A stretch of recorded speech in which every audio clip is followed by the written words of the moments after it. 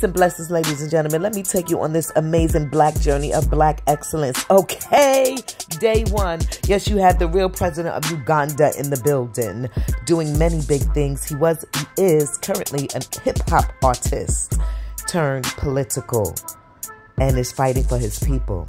And then, of course, you know, ain't nowhere my brother don't go that I don't be AT in the building. Man up, Hotep, baby.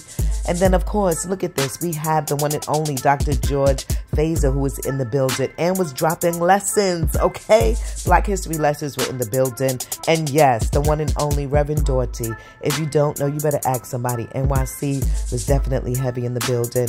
I love Baltimore and the people there. I love us. I mean, Black excellence was definitely at its finest.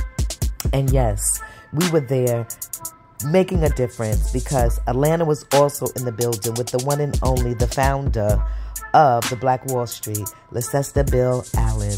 Peace and blessings. He came through dropping lessons and such a humble soul, wonderful guy to converse with um, Reverend Daughtry and I was just having a good time. I haven't seen him in a while. And then we had the one and only Mr. Ron from The Lion King. More to come with Woo Kingdom Kush. Then we had an amazing couple, Black Business for Vancouver. That's a husband and wife. They've been together for many years. And the love, baby. That was day one. Can you believe it was just day one? The black man has a weapon. You already know. Get it if you don't get it. Get it in your life. Let that resonate.